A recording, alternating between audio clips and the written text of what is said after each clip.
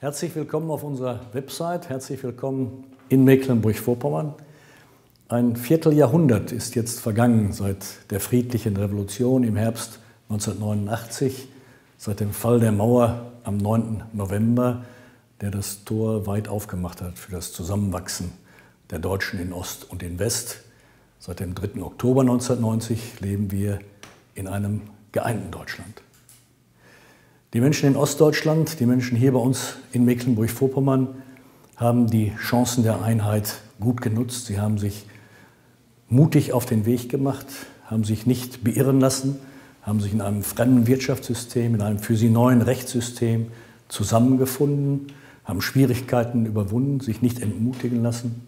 Und am Ende können wir sagen, wir in Mecklenburg-Vorpommern haben in diesen 25 Jahren einen erfolgreichen Aufholprozess bewältigt. Wir können sehr stolz sein auf das, was wir gemeinsam erreicht haben. Hier auf dieser Website wollen wir Sie während des gesamten Jubiläumsjahrs begleiten. Wir wollen Ihnen Tipps geben für Veranstaltungen, für Diskussionen. Wir wollen Ihnen Geschichten erzählen aus den 25 Jahren.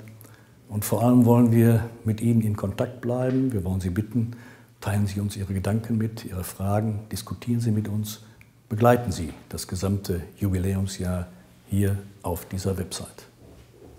Noch einmal herzlich willkommen und besuchen Sie uns wieder hier auf der Website und im Land. Alles Gute.